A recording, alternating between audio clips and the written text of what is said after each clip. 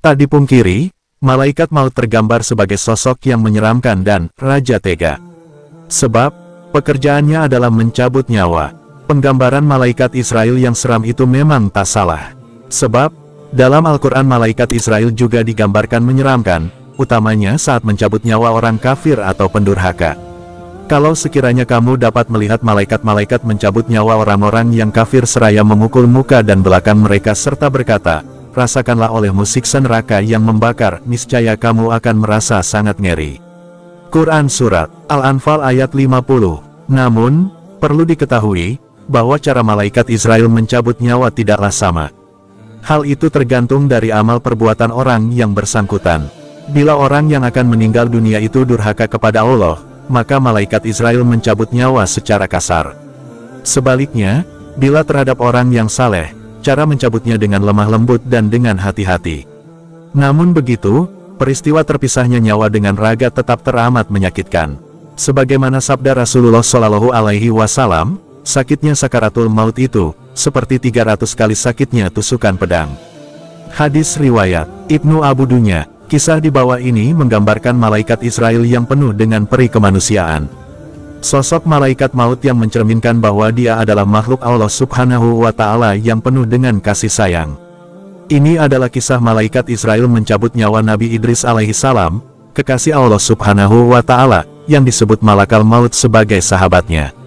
Masyhur diriwayatkan, Nabi Idris alaihi salam adalah seorang ahli ibadah, kuat mengerjakan salat sampai puluhan rakaat dalam sehari semalam dan selalu berzikir di dalam kesibukannya sehari-hari.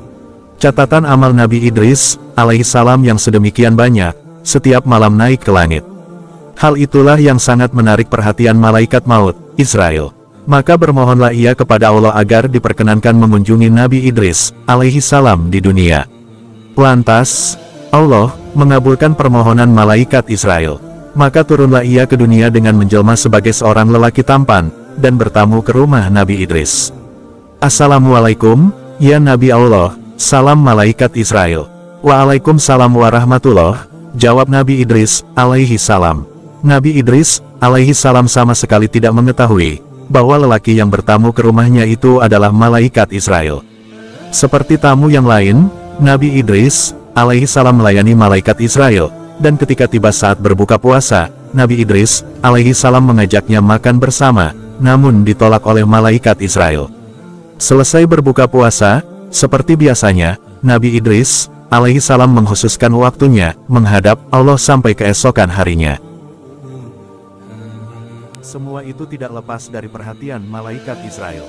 Juga ketika Nabi Idris terus-menerus berzikir dalam melakukan kesibukan sehari-harinya, dan hanya berbicara yang baik-baik saja.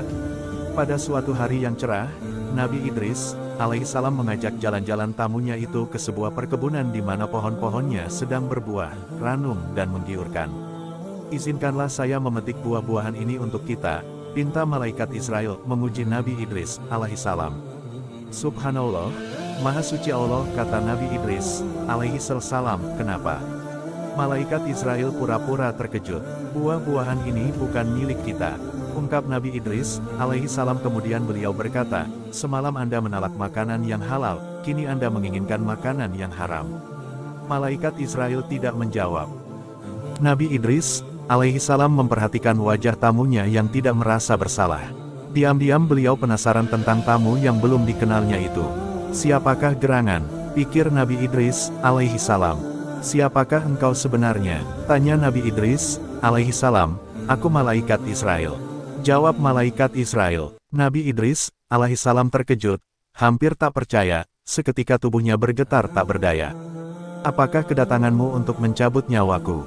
Selidik Nabi Idris, alaihi salam serius. Tidak, senyum malaikat Israel penuh hormat. Atas izin Allah, aku sekedar bersiarah kepadamu. Jawab malaikat Israel. Nabi Idris manggut-manggut, beberapa lama kemudian beliau hanya terdiam. Aku punya keinginan kepadamu. Tutur Nabi Idris, alaihi salam, apa itu? Katakanlah, jawab malaikat Israel, kumohon engkau bersedia mencabut nyawaku sekarang. Lalu mintalah kepada Allah untuk menghidupkanku kembali, agar bertambah rasa takutku kepadanya dan meningkatkan amal ibadahku. Pinta Nabi Idris, alaihi salam. Tanpa seizin Allah, Aku tak dapat melakukannya, tolak malaikat Israel. Pada saat itu pula Allah subhanahu wa ta'ala memerintahkan malaikat Israel agar mengabulkan permintaan Nabi Idris alaihi salam. Dengan izin Allah malaikat Israel segera mencabut nyawa Nabi Idris alaihi salam. Sesudah itu beliau wafat, malaikat Israel menangis, memohonlah ia kepada Allah agar menghidupkan Nabi Idris alaihi salam kembali.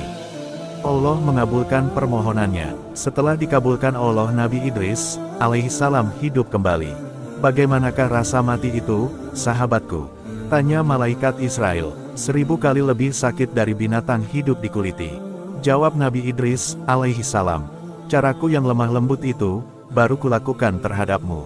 Kata malaikat Israel. Begitulah sepenggal kisah sakratul maut yang dialami oleh Nabi Idris, alaihi salam.